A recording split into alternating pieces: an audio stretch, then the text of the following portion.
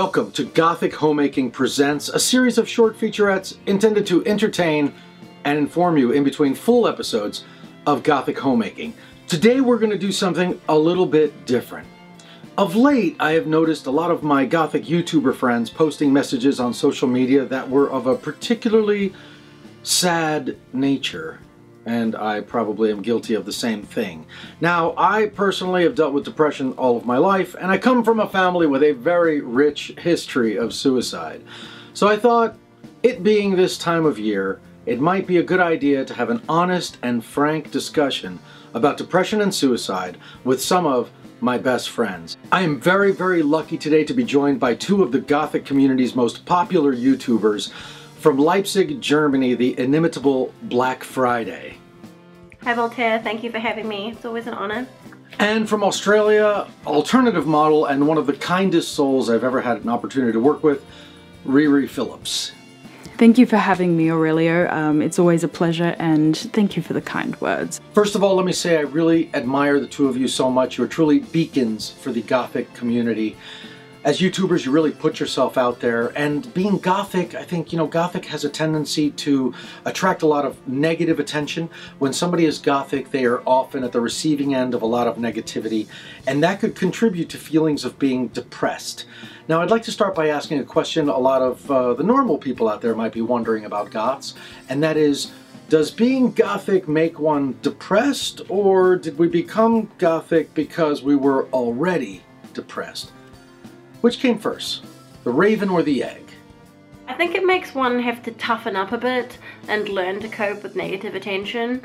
I guess it depends on the individual. Uh, I can't imagine anyone becoming sad after becoming a goth because like it, it normally, uh, people normally find it as a kind of relief, like they can be themselves, it, it cheers them up.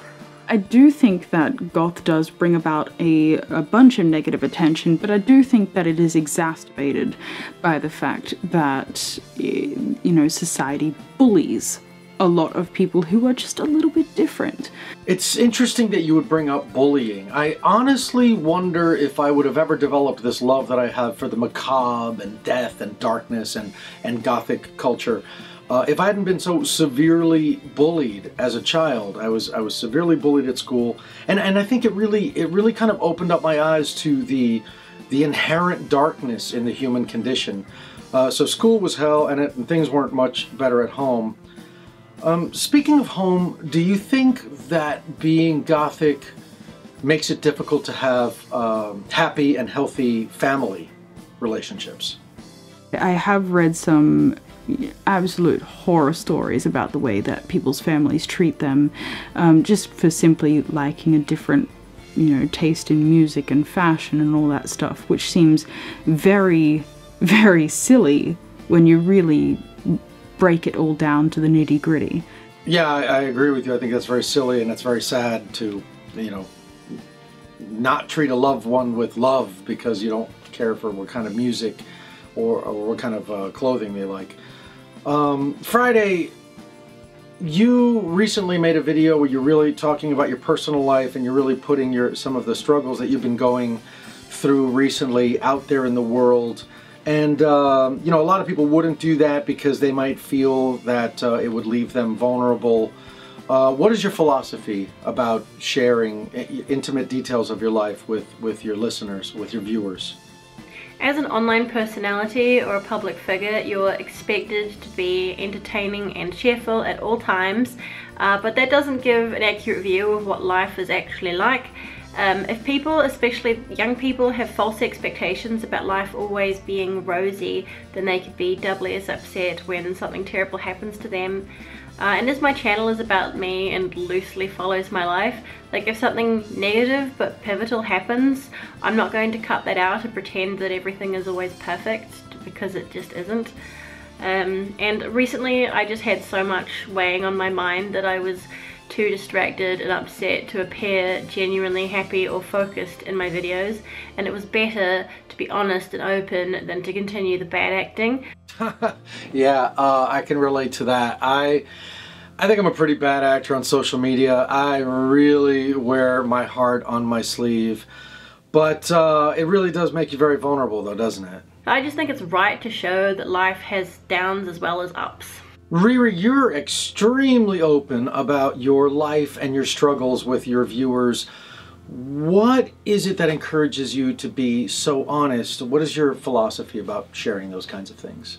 My philosophy originally, when I kind of started to gain a following on social media, was to hide myself as much as possible. But after after a while of that, you grow tired of the fact that it seems like a sugar-coated life and that's just not not how life is at all. No, it sure isn't. Uh, and you are really tremendously honest. I, I have seen you post about your struggles with anxiety. I have seen you post about your struggles with autism. Uh, you know, I think lesser people wouldn't talk about those things publicly because they might feel it makes them look weak or even defective in, in the eyes of some people. And I think you are so extraordinarily brave to talk about those things publicly. What what encourages you to to be so brave and to open up like that? The main encouragement is the fact that um, I know other people go through similar things or um, similar headspaces, and I don't want people to feel like that. As I said at the top of the video, I, I, feel like I've been seeing a lot of the Gothic YouTube community posting particularly sad messages around this time of year. Uh, I think the three of us are probably guilty as charged of that. Uh, without revealing too much, if you don't want to, would you say you're depressed? Would you say you're going through a particularly hard time at the moment, Friday? It's weird to talk about it so openly because I mostly just kept it to myself for months. But I never had depression, uh, regardless of how dark times had been in the past, but in the last few months, like proper depression manifested itself. Um, and it's different from sadness because it's largely irrational and just nothing shakes it off. Uh, it's just this heavy, crushing, shadowy, inescapable something that just stopped me from doing anything and stopped me from thinking clearly. It's like a very long, grey, foggy day and continued waiting for the fog to lift so you can carry on with life. Well, as your friend, I'm really, really sorry to hear that you're going through a hard time, and you know that I'm here for you if you need anything at all. Depression is certainly no fun whatsoever, that's for sure. And and you're right that it, it, seems very illogical, and when it's happening, it doesn't really seem like there's very much that you can do to uh, to make it go away. Um, ReeRee, how about you? Would I say I'm depressed? Um, I would say very much so in the way that I have spent way too long um, not necessarily running away from my problems, um, particularly with uh, my past and interpersonal relationships with, you know, the people in my life. Um, but I've hidden in the way that I will continue to, you know, put on a brave face, smile, and try to be what they want me to be. And it hasn't worked. And it's ruined a lot of relationships in my life because I find myself growing tired of trying to please other people. I think I know what you mean by that. Um, when I was 16 years old, my girlfriend killed herself. And she was the classic case of somebody who was always concerned with making everyone around her happy. So of course she was miserable, you know, but she, she wanted the school to be happy and she wanted her friends to be happy and she wanted her family to be happy and she never ever took time for her own feelings and, and ultimately it became fatal. Um, I don't think my family has ever respected me. I don't think that they, they respect me still. Uh, you know, they say they love me, some of the members of my family, and I think that they really believe it, but it's very different from respect. It's very different from accepting someone the way that they are. They, they still think that this is an act. Like I've been I don't know, living for half a century pretending to be someone that I'm not. And I think that one day I'm gonna, they, they think I'm gonna snap out of it uh, and, and go back to being who I was when I was a child. Uh, and that would be a horror show, let me tell you. That would not be something I'd want to do. Um, going back home for the holidays is something I used to do, but walking through the door into that house always transported me back in time and, and, and I reverted back to the, the child that was beaten, the child that was molested, and the child that was severely bullied. It's a, it's a terrible, terrible place for me, and so I, I've stopped going. That's really a shame. I guess you can't control what anyone thinks, even your own family, but like I get it. Um, I know some of my family is still waiting for me to grow out of it too. I guess actually, my father, my biological father, I have spent way too much time trying to seek his approval over the years, and I, I love him so dearly. I, I, I do say I hate him, but I think it's you know without hatred you can't have love kind of thing. Um, you know, I, I, I've all I ever wanted as a kid and a teenager was the approval of my father. And he would always kind of scoff at the way I dress and, you know, that kind of stuff. I've definitely spent way too much time, uh, you know, going home and waiting for the day when they were finally going to accept that this is who I really am. Uh, but you know, I finally gave up. I just, I think it's very, I think it's very sad to invest so much time in trying to make people happy who uh, just are never going to accept you for who you are. It's not a way to live. It really isn't. Well, uh, despite having some family members that may not particularly uh, care for your personal aesthetics, do you enjoy spending the holidays with your family? Oh yeah, I used to. I mean, it becomes a little poignant as family members start to die and you remember how nice it was when they were around. Uh, but this time around, I have no family to spend the Christmas season with and that makes me a bit upset. Um, I've been despairing spending the days alone because in Germany, Christmas is three days, not just one. So it's more time to distract myself from the loneliness. But yeah, um, I was lucky as a child. I enjoyed the holidays. Ah, you're one of the lucky ones. How about you, ReeRee? Is it a happy family fun time for you around the holidays? I don't hate the holidays, but I don't like them either. It's more so the only reason I celebrate Christmas is because of my my daughter, um, and to keep my mother happy. I know I said earlier that um, I don't want to do things to make other people happy, but um, you know, there's there's some things that happened many many years ago with my mother. I did watch her try to kill herself, um, and Christmas just seems to be the only time of year where she is um, incredibly happy. So I think we, within my family anyway, we all go the extra mile to make sure that it's, you know, happy for her at least. And I guess we all forget about ourselves in that way, but just as long as my mom's happy, whatever. Well, I, I guess we I guess we share that. I um I watched my mother try to kill herself. I think probably several times a year my entire childhood, and I I, I found her in some very very gruesome uh, conditions, um, having overdosed on antidepressants and you know eyes rolling up into the head and foaming at the mouth and choking on her own tongue and and uh, you know I think when you're a child there's a natural inclination to want to save your parent if your parent is dying. But after you know years and years of this and there's a psychological part of it too that kind of wears on you. You know like you start to wonder when you're a small child and you don't really understand depression you start to wonder like wow do they not love me enough to want to stay here with me?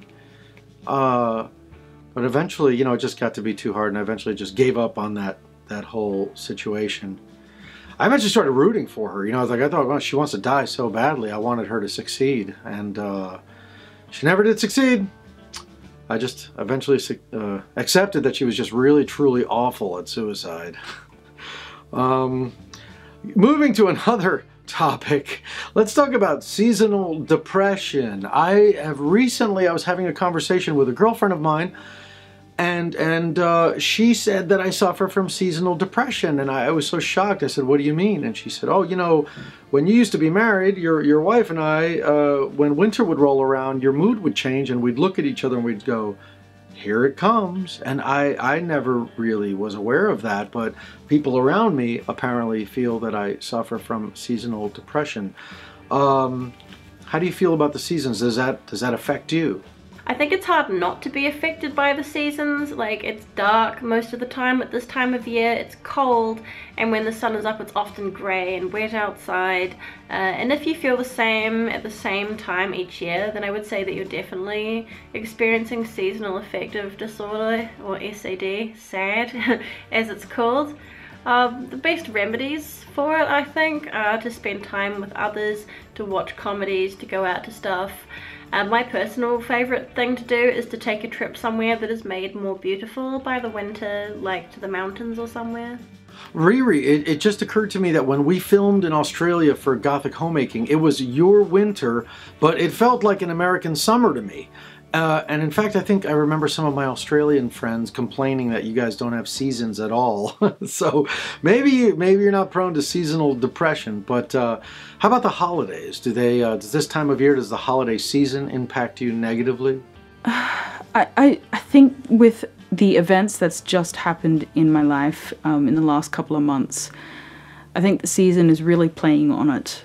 You came to my show in Brisbane, Australia, and uh, anybody who's been to one of my shows in the last couple of years, you've heard me tell a story about my childhood, about how I was relentlessly bullied, about how I was molested, about how my childhood sweetheart killed herself when I was 16 years old, and how ultimately I made the choice at 17 to end my life as well.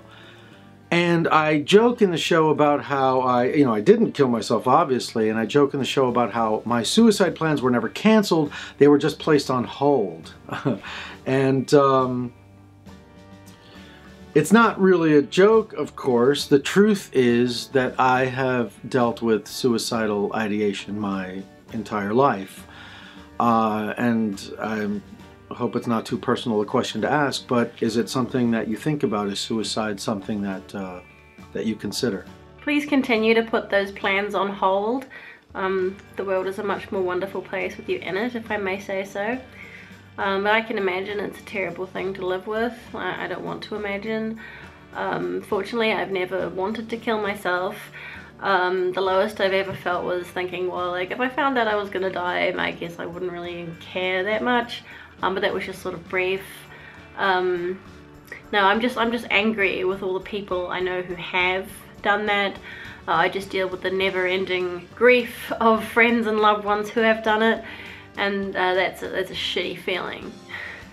I do remember you talking not only in your show but to me um, privately about um, your suicide plans and it really rang home, like a, home truth with me. uh, yeah, sorry about that. I, I do tend to be a little flippant about the tentative nature of the remainder of my time here on uh, planet Earth. Um, but we'll get back to why that is. Uh, now, though, what I'm really curious about is why the story I shared with you hit so close to home it just feels like the last few months has just been spiraling. And um, you know going to be bluntly absolutely bluntly honest um, last week 11 days ago um, i tried to take my own life. And i think that's the lowest i've been for quite some time and the only reason I'm saying this is not for sympathy, but it's the fact that um, I had wonderful, absolutely fucking wonderful people. Um, um, I had wonderful people who I've actually opened up to see that I was in a horrible state and they they helped me. They helped me to reverse my decision and got me they've got me into help and all of that stuff. So I'm very grateful for my friends. I'm very grateful for my family because if it wasn't for the fact that they saw that I was just not me, um, even you know, my low moods, I was below the ground, um, if they didn't see that, or if the fact that I didn't open up to them about the struggles um, that have been going on within my head, then I probably wouldn't be here. I am so sorry to hear that you had to go through that.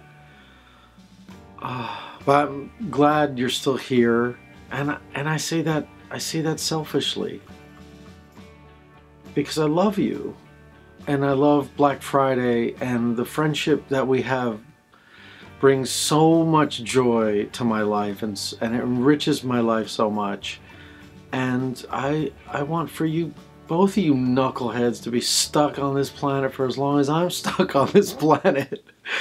But maybe that's selfish for me to say, you know, because when somebody wants to die, you know, they want for all of their troubles to be over. And I just want you to stay here.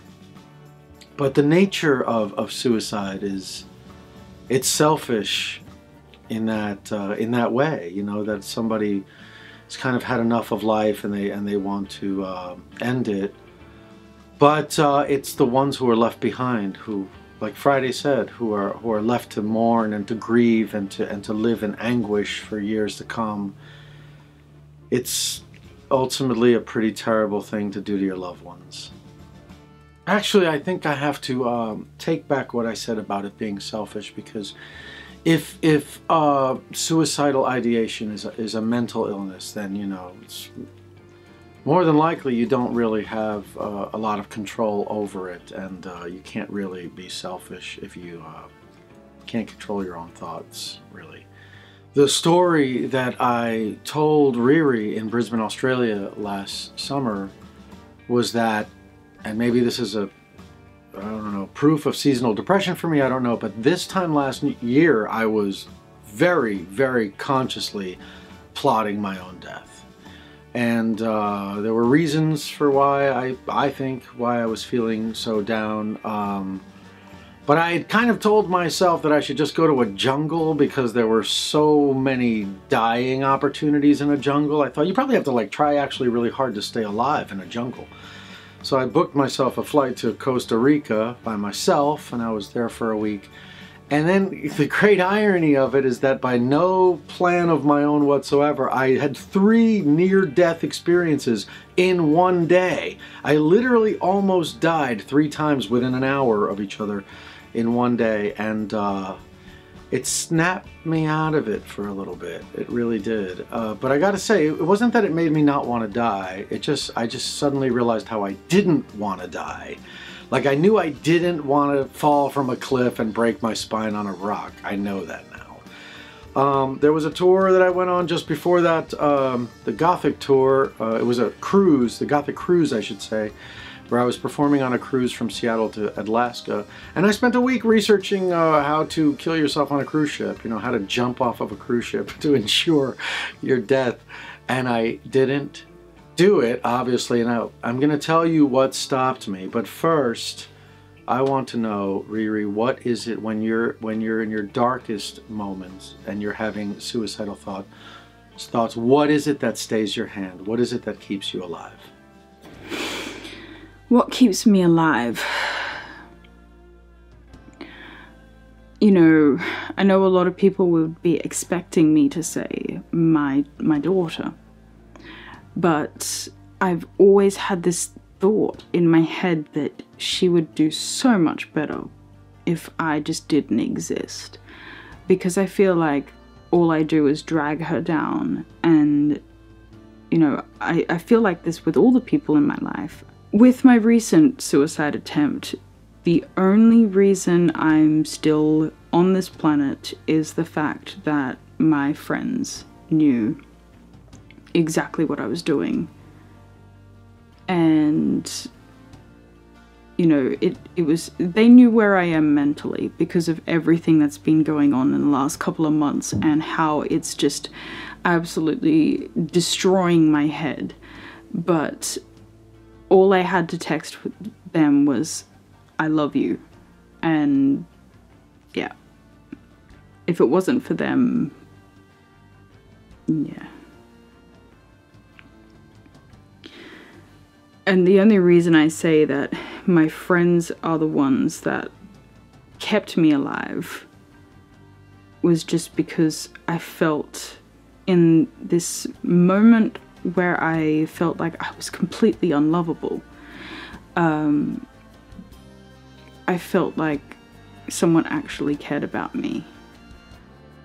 Do do we do we even need to finish? Do we need to finish shooting this episode? Can we just maybe Friday night get on a plane and just go to Australia and hug you, and maybe we could just glue some macaroni to a piece of cardboard in the shape of a bat and paint it black and call it Gothic homemaking? I mean, isn't Christ? Isn't that what we're supposed to be doing on this show? Uh, um, what about you, Friday? What about you? Is any any any chances that you're thinking about shuffling off this mortal coil? I would never do it uh, because no matter how bad things are, there is always hope. There is. And regardless of how dark and impossible it seems, there is hope. And if you end your life, you are removing all hope and any chance for improvement. Like, there is an eternity to be dead and only a brief spark in which to live a life. Um, and life can be anything. Uh, like it's a big and amazing world that we live in. There are always ways to change your situation. You can start a whole new life. So I would never do it because then there's still hope. I'm really, really happy to hear that, Friday. I certainly don't want you to die. Uh, I'm, I'm glad that you wouldn't do it, but I totally would. I totally would. Uh, Maybe. I don't know. I mean, you know, I didn't jump off that cruise ship, right? So why? I have a very good reason. I told you I would tell you, and here's the answer. Propeller blades. Propeller blades are hurdy. They're hurdy. I am not afraid of death. I have lived such a long and, and wonderful life. If I died this very moment, I'd have no regrets. But I'm afraid of pain because I'm a coward. I'm a coward that is the part that scares me. Maybe having seen my mother not succeed so many times has terrified me, but that's the part that frightens me. You know, I, I met a girl recently and I liked her and she didn't like me back and I thought I should drink a gallon of bleach. This is a true story. And I looked up what happens when you drink a gallon of bleach. Spoiler alert, don't do it. It's awful. It's terrible. You're lucky if you die. You probably won't. It's an awful, awful thing to do. Uh, so so I'm a coward. I think that's the number one reason why why I'm still alive today. But if you have seen my shows, you know that there is another reason that I'm alive today despite having decided to kill myself when I was 17. And that is that I accepted death at 17. And from that point on, nothing can really hurt you once you accept death. So that day when I was about to kill myself, I thought, you know what? I'm just going to do whatever I want to do today because at the end of the day, I'm going to be dead anyway. I stood up for myself. I advocated for myself. When the bullies approached me at school, I told them exactly what I thought of them and they walked away. When a teacher made fun of me in a class, I stood up and I told her she was an embarrassment to the profession of teaching and she sat down and left me alone. And when I went home that day and my parents made fun of me because of the way I dressed, I told them exactly what I thought of them. I told them how incredibly superficial it was for them to have a problem with the way I was dressed. I got good grades at school. I wasn't a drug addict. I, I never got arrested. I never caused trouble. I'm a good person. I'm a good person.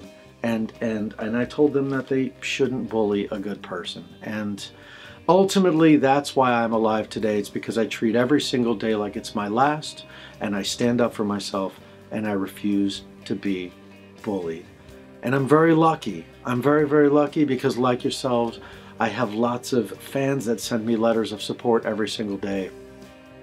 Um, and that, that, believe it or not, that really kind of gets you through sometimes. Is, is that how is that how you guys feel? Do you find strength and support through your fan base? And the letters they send you? I I really do. Um, I feel bad sometimes that I can't answer every email, every message, everything that I get from people. I try to read as many as I can. Uh, absolutely, I love reading them. You know, 99% of them are just support and love and uh, I, I absolutely adore it. But the the bulk of it can get kind of daunting sometimes. No, um, you know, having having that many people who who write to you and and are expecting like sort of a speedy reply. Do you do you ever feel that way? Yeah, I understand that. Um, my inboxes overflow with messages and reminders of all the things I haven't done yet and all the people I haven't replied to. And I'm sure those people think I am too arrogant to reply to them or too hopeless to do what they ask me to. Um, I only recently realized that it's okay not to answer everything and not to do everything, just to do as much as you can at a time and learning not to feel guilty about that.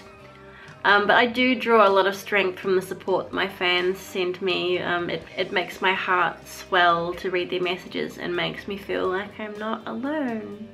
Oh my god, yes. That's actually, that I believe was the number one source of my depression this time last year is I, I just felt trapped. I, I felt like I was spending all of my time answering messages on Instagram and Facebook and and YouTube and, and via email.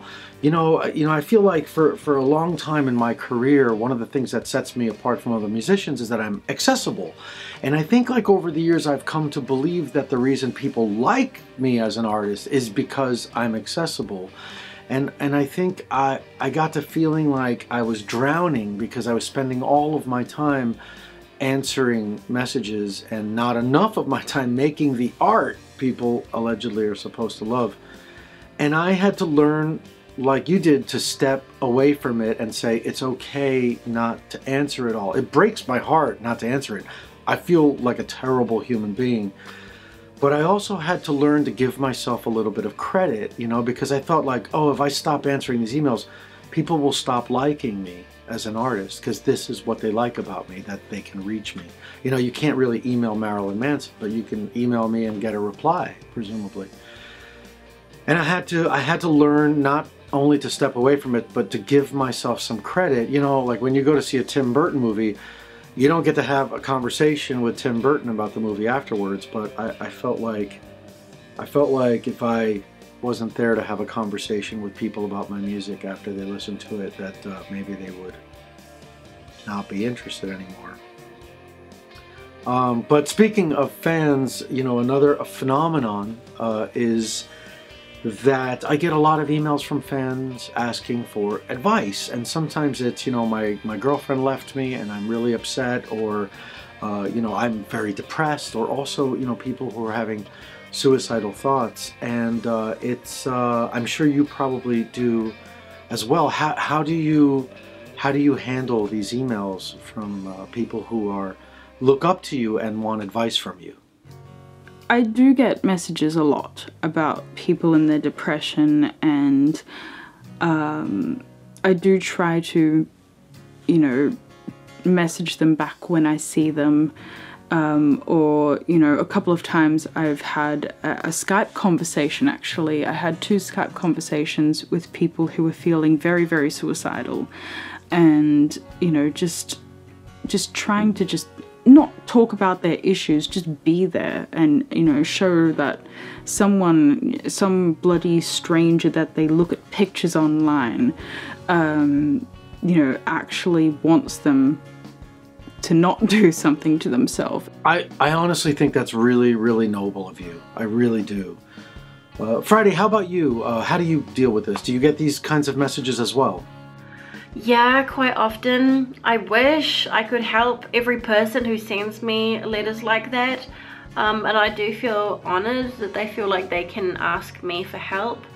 But I would I would encourage those people to perhaps visit a local counselling service rather than someone online who might not see the message in time or at all.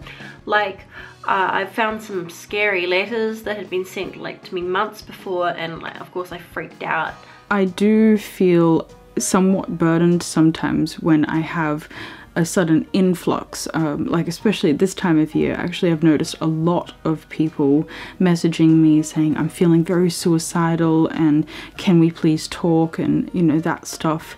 Um, I do feel bad, especially because I'm going through my own crap at the moment. Um, you know, this is more than I've ever had to handle in my life before.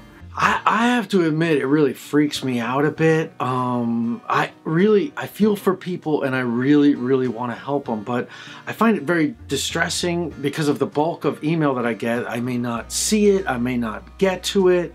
Um, and you know, people thinking that you're ignoring them might, might contribute to their depression and might lead them to hurt themselves. I'm not a mental health professional. I'm not trained in any of these issues.